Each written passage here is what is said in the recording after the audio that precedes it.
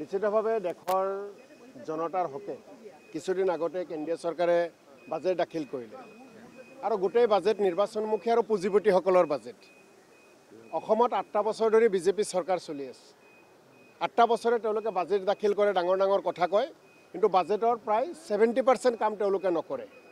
এইবাৰ আমি আশা কৰিছোঁ দেশৰ ৰাজ্যখনৰ জনতাৰ হকে যে এইবাৰ বাজেট ৰাইজৰ কাৰণে হওক ৰাজ্যখনৰ মংগলৰ কাৰণে হওক তাৰে আশা কৰি আছোঁ বাৰ তাৰিখে বাজেট দাখিল কৰিব পৰৱৰ্তী কথাবোৰ মোক ক'ম। দেশ ৰাজ্য আৰু ৰাজ্যখনৰ জনতাৰ বিভিন্ন ইছ্যু এই ৰাজ্য চৰকাৰখনে যোৱা আঠটা বছৰে পালন কৰিব পৰা নাই। যোৱাকালি মোদী ডাঙৰীয়া আহি বহুত গেৰাণ্টি দি গ'ল। ইয়াৰ আগতেও মোদী ডাঙৰীয়া আৰু বিজেপিয়ে বহু গেৰাণ্টি দিছে কিন্তু গেৰাণ্টি কোনো তেওঁলোকে সফল কৰিব পৰা নাই। সকলো গেৰাণ্টি গেৰাণ্টি হৈ আছে।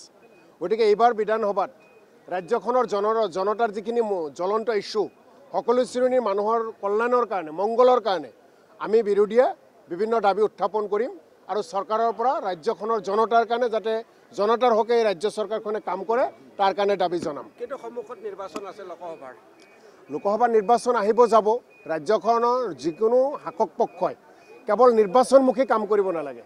নিৰ্বাচনমুখী কাম কৰিলে সাৰ্বংগীন উন্নতি নহয় আৰু দেশৰ জনতা ৰাজ্যখনৰ জনতাৰ কষ্ট হয়।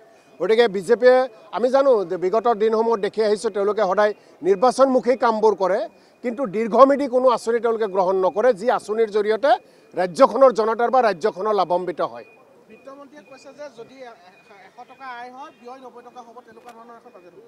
বিত্তমন্ত্ৰী ডাঙৰীয়াই তিনি বছৰ তিনি বছৰ কাল কাৰ্যকাল সম্পূৰ্ণ কৰিব।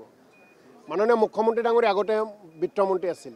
গতিকে তেওঁলোকে কথাৰ ফুলজাৰিহে মাৰিছে। সদায় কথাত দেখিছোঁ কামত একো দেখা নাই। বাজেটৰ পৃষ্ঠাত দেখিছোঁ কিন্তু মাটিত একো কাম হোৱা নাই।